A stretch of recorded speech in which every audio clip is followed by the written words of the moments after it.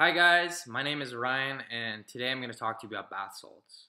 I'm sure many of you guys have already probably heard about bath salts before given the fact they've appeared pretty abundantly in the media from news outlets to even popular Hollywood films. Bath salts, here I come.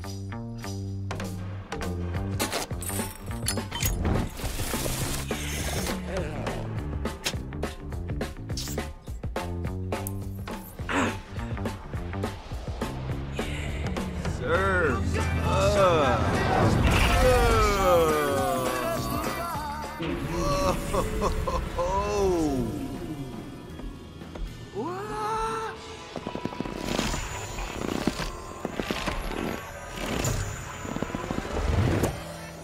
What the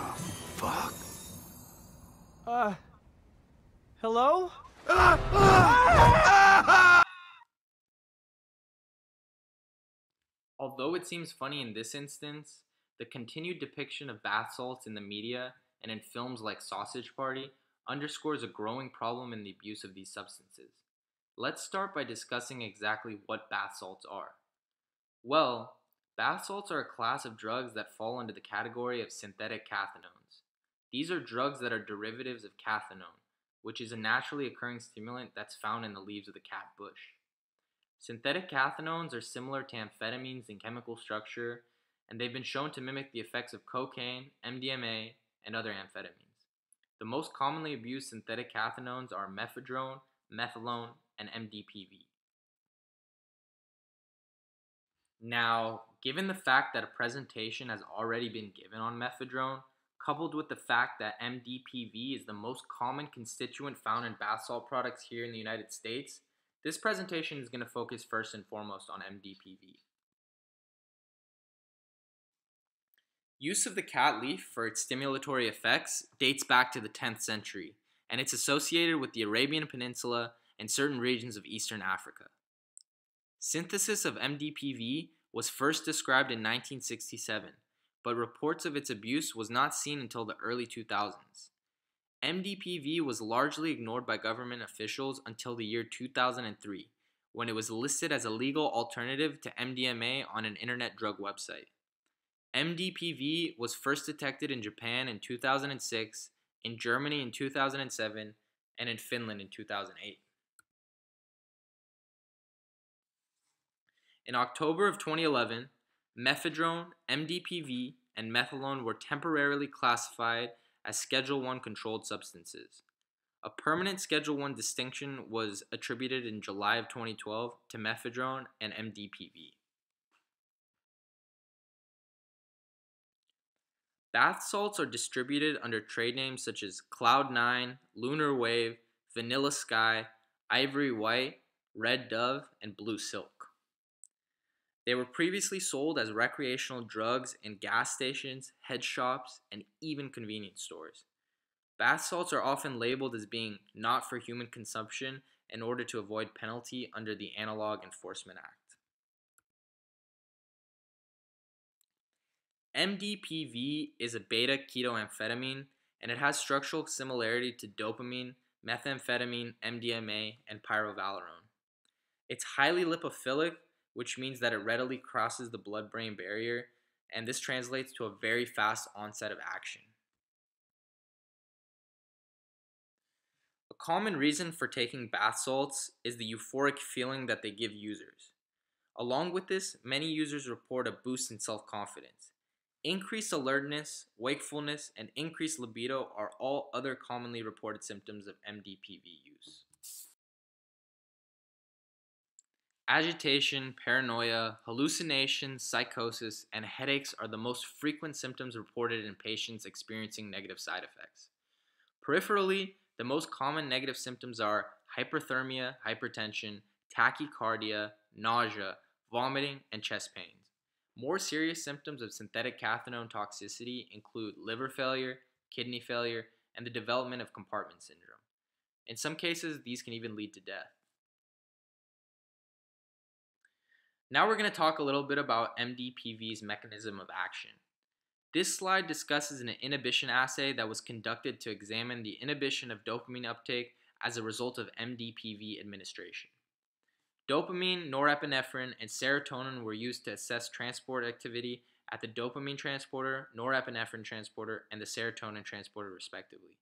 Figures A, C, and E illustrate that MDPV is a potent uptake blocker at the dopamine transporter and norepinephrine transporter, with weaker effects at the serotonin transporter. When compared with cocaine, MDPV is 50 times more potent as an uptake blocker at the dopamine transporter, and it's 10 times more potent as an uptake blocker at the norepinephrine transporter. MDPV shows high selectivity for catecholamine uptake inhibition, and catecholamines are basically a class of monoamines that include compounds like dopamine, norepinephrine, and epinephrine. Unfortunately, a traditional uptake inhibition assay such as this one can't really tell us whether MDPV is acting as a transporter substrate or as a transporter blocker. As a result, additional experiments were conducted by researchers. In this experiment here, researchers examined the effects of MDPV on efflux of a radio-labeled substrate called MPP in cells that are stably expressing the human dopamine transporter.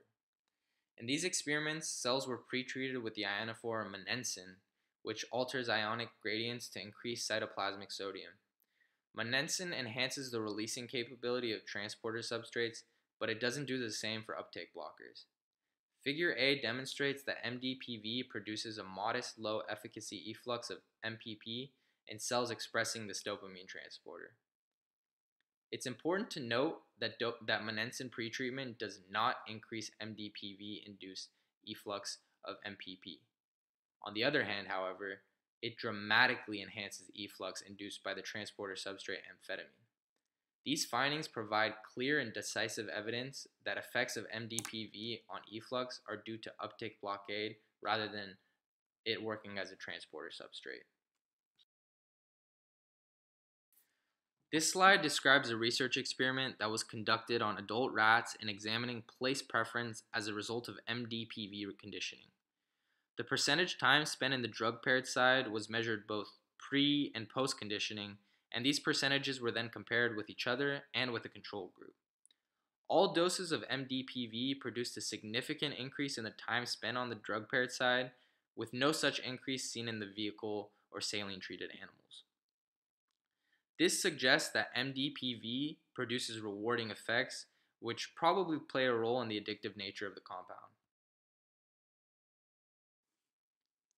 To summarize, MDPV is a potent catecholamine selective transporter blocker. It acts at multiple transporters, but we're mostly concerned with the dopamine transporter. MDPV is significantly more potent than cocaine, and it acts mainly in the striatum. In recent years, the abuse of synthetic cathinones, or bath salts, has become a major worldwide health concern. A recent report released by the Substance Abuse and Mental Health Services Administration showed that nearly 23,000 emergency room visits in 2011 were a result of cathinone abuse.